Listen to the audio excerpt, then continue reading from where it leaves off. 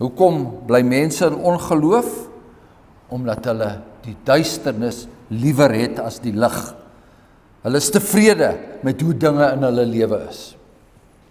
Hulle verkies leuns. Hulle verkies 'n marshmallow evangelie sag en soet. Dis slegs die desperates. Dis slegs die wanhoopiges die wat aan die soet leuns begin walg het wat na die Here toe kom dis slegs hulle wat in hulle nood die Here sal aanroep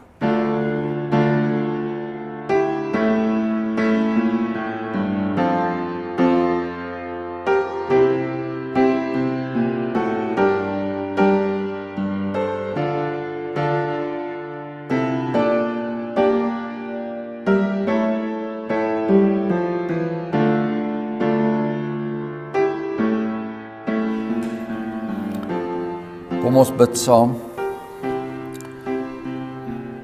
Onse hemelse Vader, ons is vanaand weer bewus daarvan dat ons 'n volk is wat soveel guns by U geniet. U kom nou geslagte na geslagte en deur die genade van ons Here Jesus Christus word ons sy woord bedien die lengte en die breedte en die hoogte en die diepte daarvan het u vir ons hemelse Vader male sonder tal verkondig. Van hierdie kansel af en ook elke ander geformeerde kansel in hierdie land en ook ander gemeentes talryk is hulle die wêreld oor. So daar is volke wat u guns geniet En dit alles tot die eer en verheerliking van die heilige naam sodat wanneer ons se Here Jesus Christus eendag in die hiernamaals die volkere wêreld voor hom sien, sal sy naam groot gemaak word. Ons bid dat ons dan vanaand weer guns sal geniet. Die guns wat daar net kan kom wanneer die Heilige Gees kragtig in ons midde spreek En daarom bid ons Hemelse Vader dat U die lippe van U dienskneg sal seën. Hy wat uit homself nie bekwam is nie, maar wat U bekwam maak om U woord te bring. En ons bid ook dat hierdie woord geseën sal wees in hierdie gemeente en oral waar dit uitgedra word vra ons hemelse Vader dat u naam in die naam van u seun Jesus Christus groot gemaak sal word wanneer hierdie woord gehoor word. Gee ons dan nou 'n geopende oor vir die woorde van u apostel. Gee ons 'n oop hart om net dit nie net te ontvang nie, maar dit ook te glo en dit te koester. En gee vir ons elkeen self 'n geopende mond om hierdie lof wat ons in Psalm 105 van U gesing het dat ons dit ook sal sing in ons lewens en ander mense sal sien dat ons mense is wat guns geniet dat ons in die teken van u genade leef en dat ons hulle jaloers sal maak dit alles hemelse Vader in die naam van ons Here Jesus Christus in wie se gees ons nou hier vergader is. Amen.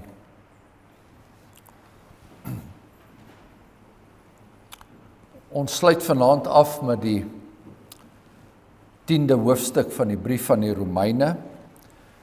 Die uh klem het in hoofstuk 9 soos ook hier in hoofstuk 10 en dit sal ook in hoofstuk 11 geval op die lot van Israel, die volk Israel. Wat het van hulle geword? Hoekom is hulle in die situasie waarin hulle is? In hoofstuk 10 vers 1 begin die apostel so en hy sê broeders, die verlange van my hart en die gebed wat ek tot God vir Israel doen, is tot hulle redding. Want ek getuig van hulle dat hulle 'n ywer vir God het, maar sonder kennis. Want omdat hulle die geregtigheid van God nie ken nie, en hulle eie geregtigheid probeer oprig, het hulle hul aan die geregtigheid van God nie onderwerp nie. Want Christus is die einde van die wet tot geregtigheid vir elkeen wat glo. Want Moses beskryf die geregtigheid wat uit die wet is. Die mens wat hierdie dinge doen, sal daardeur lewe. Maar die geregtigheid wat uit die geloof is sê, moenie in jou hart sê wie sal in die hemel opvaar, naamlik om Christus af te bring of wie sal in die afgrond neerdal, naamlik om Christus uit die dode op te bring. Maar wat sê dit? Naby jou is die woord in jou mond en in jou hart. Dit is die woord van die geloof wat ons verkondig. As jy met jou mond die Here Jesus bely en met jou hart glo dat God hom uit die dode opgewek het, sal jy gered word. Want met die hart glo ons tot geregtigheid en met die mond bely ons tot redding. Want die skrif sê elkeen wat in hom glo sal nie beskaam word nie. Want daar is geen onderskeid tussen Jood en Griek nie. Dieselfde Here is tog Here van almal en is ryk oor almal wat hom aanroep. Want elkeen wat die naam van die Here aanroep, sal gered word. Hoe kan hulle hom dan aanroep in wie hulle nie geglo het nie?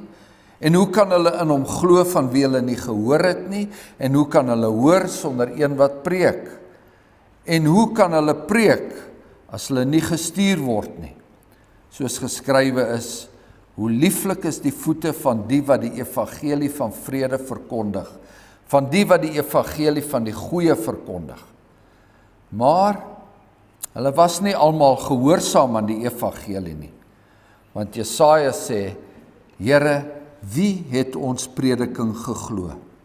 Die geloof is dus uit die gehoor en die gehoor is uit die woord van God. Maar ek sê, het hulle miskien nie gehoor nie? Ja seker, oor die hele aarde het hulle stem uitgegaan en tot by die eindes van die wêreld hulle woorde. Maar ek vra, het Israel dit miskien nie verstaan nie? Ten eerste sê Moses, ek sal julle jaloers maak op die wat geen volk is nie en ek sal julle toren opwek teen 'n onverstandige volk. En Jesaja durf self sê, ek het my laat vind deur die wat my nie gesoek het nie. Ek het verskyn aan die wat my nie gevra het nie. Maar van Israel sê hy die hele dag het my hande uitgebrei na ongehoorsame en teesprekende volk. Dit is die woord van die Here en ons lees tot sover daaruit. Romeine 10 vers 21 die woorde van die Here die hele dag het ek my hande uitgebrei na ongehoorsame en 'n teesprekende volk. Liefdes in die begin van hierdie hoofstuk word ons weer eens aan die Jode se probleem herinner. Hulle het hulle eie geregtigheid probeer oprig. Hulle ken nie die geregtigheid van God nie. Ons kyk vanaand weer opsommend na hierdie verskynsels Nie om nogmaals te sien hoe sondig Israel is nie, maar om nogmaals te sien hoe ver ons te kort skiet. Die Jode het die evangelie verwerp en hulle het hardnekkig aan hulle onkunde vasgeklou. Nou moet ons weet dat ware onkunde is nie 'n gebrek aan kennis nie. Ware onkunde is eerder die weiering om daardie kennis te bekom. Dat dit so was, dit het ons reeds in hoofstuk 9 geleer. En dit is eerstens ook te wyte aan God se raadsplan aan sy uitverkiesende genade. In daardie uitverkiesende genade het hy hulle eenvoudig verbygegaan. Hier in hoofstuk 10 het ons tot dusver geleer dat dit net soveel hulle eie skuld was. Jesus Christus het na sy eiendom gekom en sy eie mense het hom nie aangeneem nie. So skryf Johannes aan die begin van sy evangelie. Hulle het hom nie aanvaar nie. Hulle kon nie aanvaar dat hulle werke boos was nie. En verder aan in Johannes se evangelie lees ons die lig het na die wêreld gekom en die mense het die duisternis liewer gehaat as die lig want hulle werke was boos. Want elkeen wat kwaad doen skryf Johannes, haat die lig en kom nie na die lig toe dat sy werke bestraf kan word nie. Hoekom bly mense in ongeloof? Omdat hulle die duisternis liewer het as die lig. Hulle is tevrede met hoe dinge in hulle lewe is. Dis niks nuut nie. Die profete het in die Ou Testament presies dieselfde getuig. In Jesaja 30 sê die Here dit is 'n wederstrewige volk. Leenagtige kinders. Kinders wat die wet van die Here nie wil hoor nie. Wat aan die sieners sê sien nie. En aan die profete profeteer vir ons nie wat reg is nie. Spreek vleitaal vir ons. Profeteer bedriegery. Wyk af van die weg, buig af van die pad en laat die heilige van Israel voor ons aangesig verdwyn.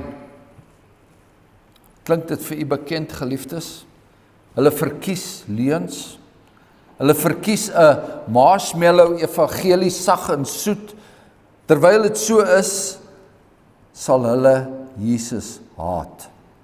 Die wêreld haat my, sê die Here in Johannes 7, omdat ek van hom getuig dat sy werke boos is. Dis slegs die desperates.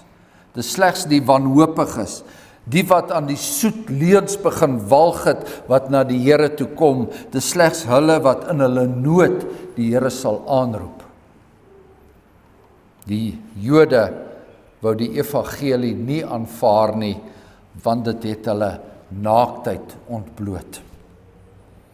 Nou hier in hoofstuk 10 gaan Paulus dieper in op die besonderhede van hierdie selfverkose onkunde van sy mense. Waarvan het hulle verkies om onkundig te bly? Wel, hulle wou die geregtigheid van God nie ken nie. Ons het dit in vers 3 gelees. Hulle het nie besef hoe heilig God werklik is nie. En dis 'n baie algemene fout wat baie mense vandag nog maak. Aan die een kant is daar kerkmense wat God se heiligheid onderskat en daarom geen poging aanwend om self heilig te lewe nie. Hulle ken nie die vrees vir die Here nie. Maar dan is daar diegene wat weer hulle onkunde openbaar wat 'n werksheiligheid propageer. Onderhouding van feesdae en allerlei Ou Testamentiese rituele om daardeur aan God se geregtigheid te probeer voldoen. Ook hulle ken nie die geregtigheid van God nie. Die tweede ding waarvan die volk Israel niks wou weet nie, is dat Christus die einde van die wet tot geregtigheid is. Dat die seun van 'n Galileese timmerman dat hy die volmaakte lam was. Dit wat in hoofstuk 10 vers 4 staan, die wet wys na Jesus Christus. Die wet is gerig om ons tot Jesus te lei. Daarvan wou hulle niks weet nie. En hierdie waarheid word deur die eeue al deur die Jode geminag. 'n Bekende Joodse filosoof van die 12de eeu, Maimonides, het oor Jesus geskryf en gesê hy het nie sukses behaal nie en is doodgemaak. Dis al. Met ander woorde, Jesus van Nasaret het homself as die Messias aangebied, maar hy was 'n mislukking. Hulle kon nie glo dat God sy seun Jesus Christus gegee het om aan sy geregtigheid te voldoen nie ten volle aan sy geregtigheid te voldoen nie.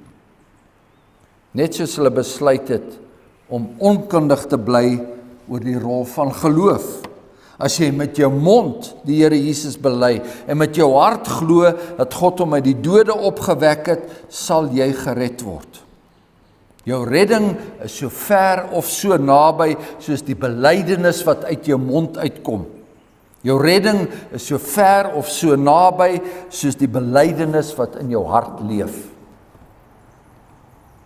As enige een dit glo, sal hy of sy gered word.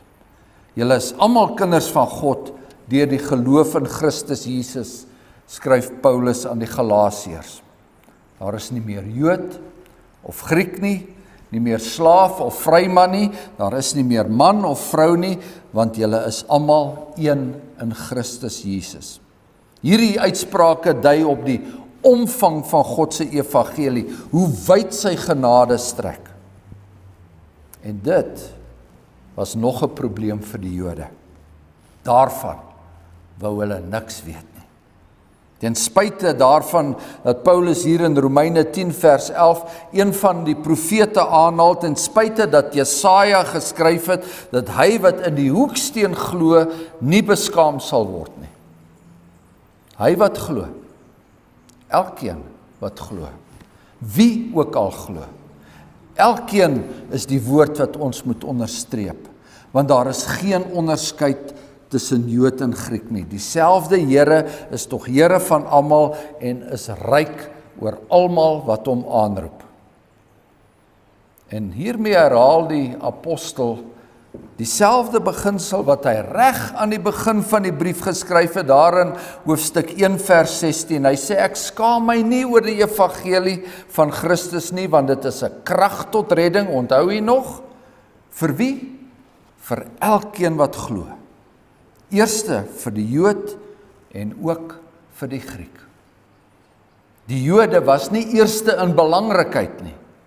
Nee, hulle het die evangelie eerste gehoor en daarna is dit aan die Grieke verkondig.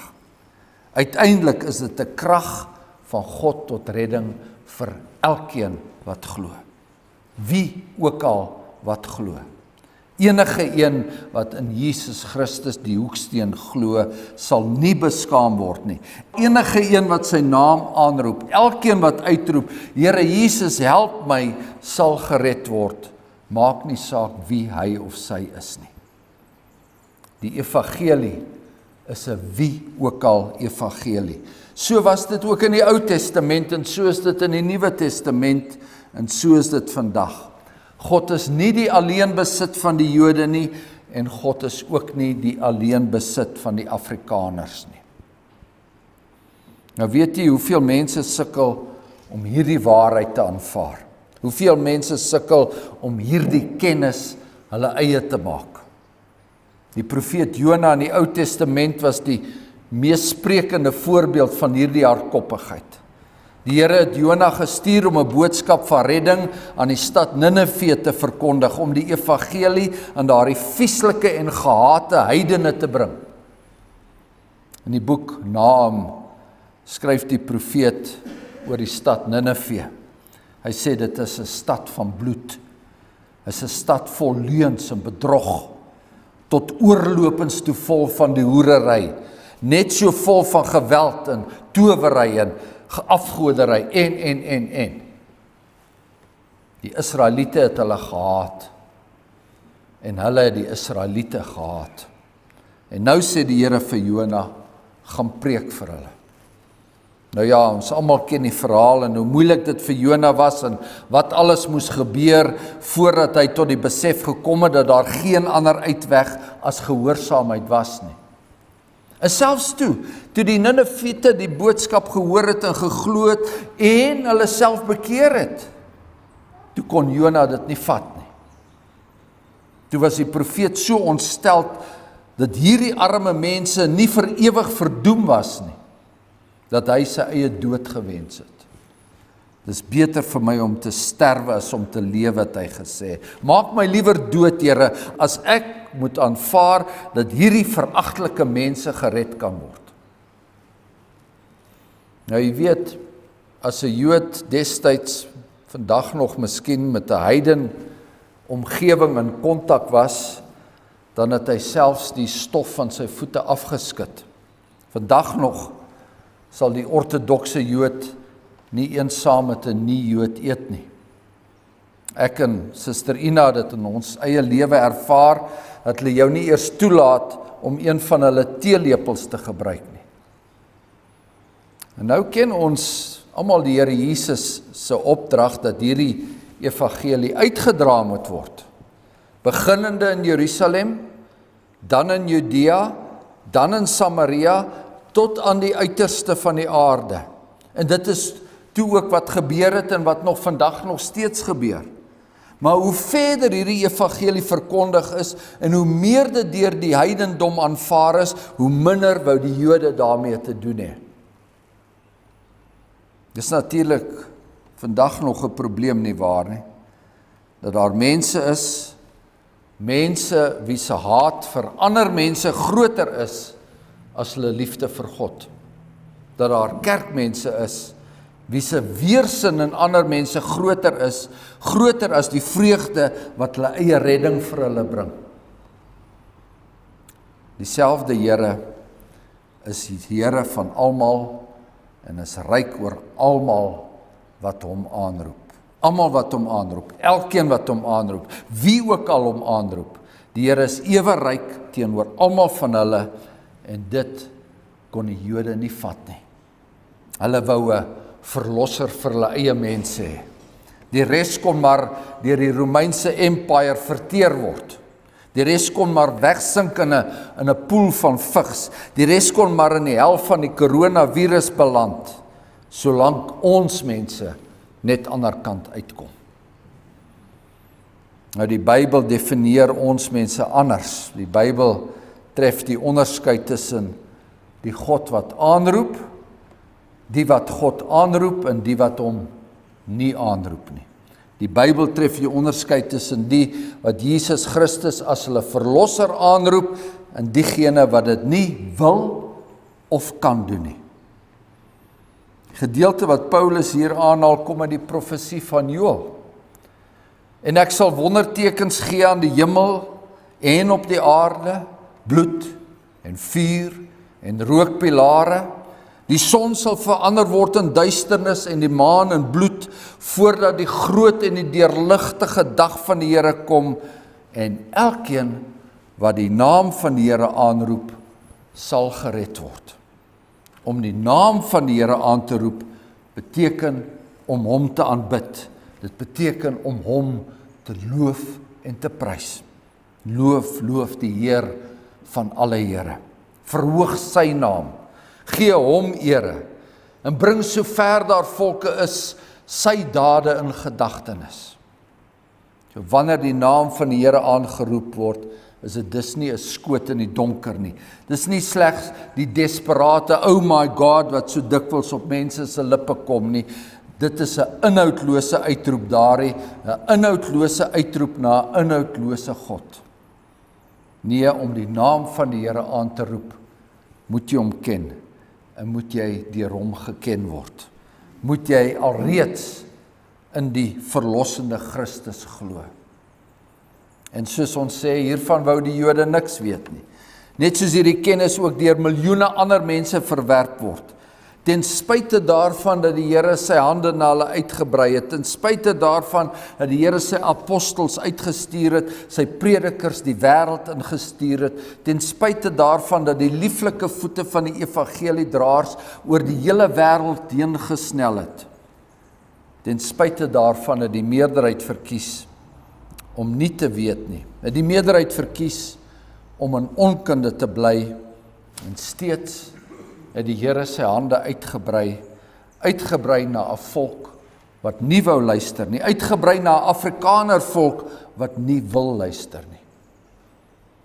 Die genade daarin is onverstaanbaar, onbegryplik. Die uiteindelike oordeel sal verstaanbaar wees, verstaanbaar en verskriklik. Amen. Kom laat ons dank.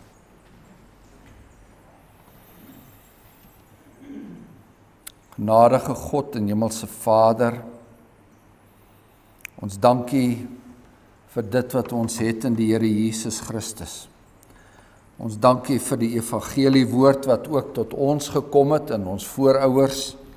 En ons dankie Hemelse Vader dat daar soveel van hulle is, soveel van hulle was wat geglo het en wat getrou en wat ons in Psalm 105 sing dit van geslag tot geslag oorgedra het. Want die God van Abraham wat van geen wankel weet nie sal nimmer sy verbond vergeet nie. Genadige God en hemelse Vader en nou bid ons dat ons met daardie kennis self sal uitgaan en daardie woord sal bring aan wie ook al wil luister wie ook al wil glo en wie ook al bereid is om u naam aan te roep. En dan weet ons dat daar eendag voor ons se Here Jesus Christus se ontelbare skare sal staan uit alle tale, volke en nasies. en dat hulle almal eendragtig ons Here Jesus Christus sal erken as die lam wat geslag is, die een wat die einde is van die wet tot geregtigheid, ons Here. Mag sy naam geloof en geprys word. Amen.